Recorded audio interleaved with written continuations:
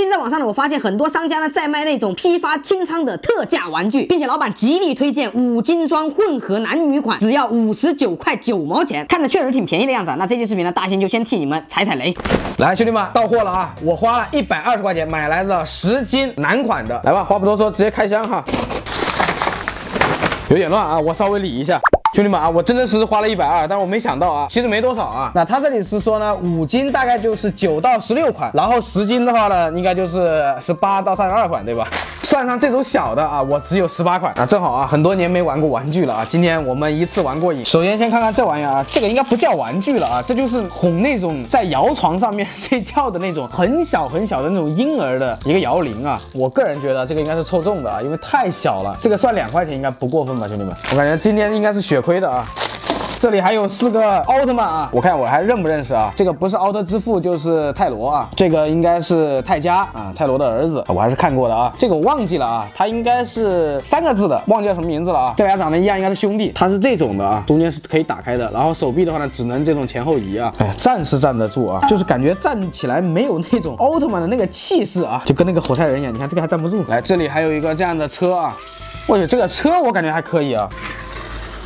它这个轮子啊，有那种阻尼感。我这样转的时候呢，它轮子会上下动啊。我以前玩的那种小汽车呢，它是那种上发条的啊。那这个玩具我觉得应该值个十块钱吧，兄弟们。综合评价啊，做工一般般，但是我觉得玩应该是还是比较好玩的。来，这里还有一个小车啊，它这个就不是那种的，你看。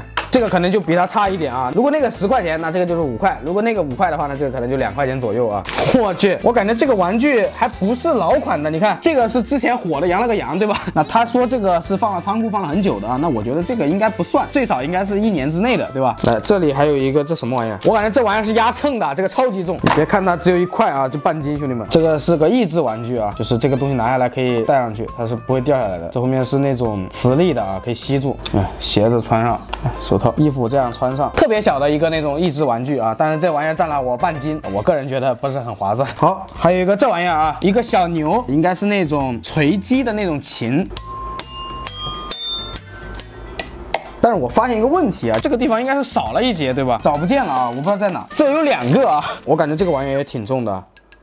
这个也是铁的，我去，一个又是半斤，你看，就这两个啊，一斤多，兄弟们，怪不得十斤就这样来的。来，还有这玩意儿啊，一个拍拍手，这也算一个，同样是逗小孩的，你看。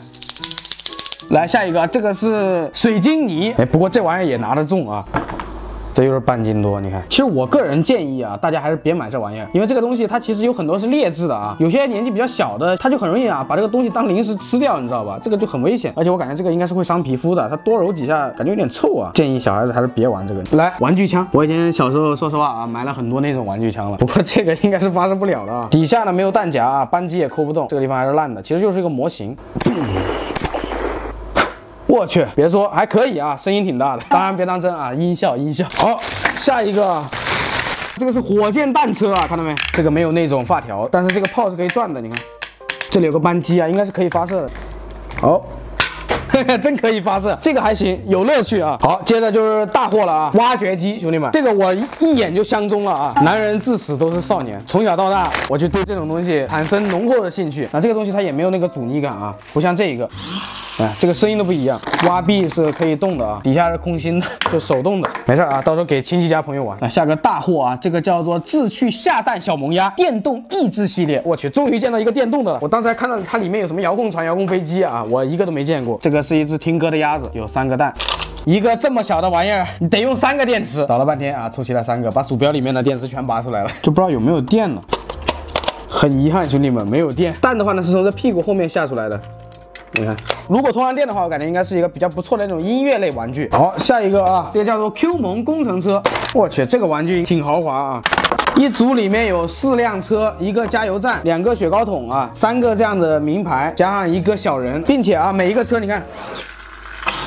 里面有发条，其实推起来还挺爽的。每一个车功能都不一样，这个是铲车啊，这个挂钩，这个是水泥搅拌车。你看，这个是装货的啊，细节还行啊。这个加油枪可以拿下来，车还行啊，应该十五块钱到二十块钱，我觉得应该是值的。好，下一个，这个是保龄球套装啊，那这个东西我觉得还是挺感兴趣的。走你，哎，还是得有点技巧啊。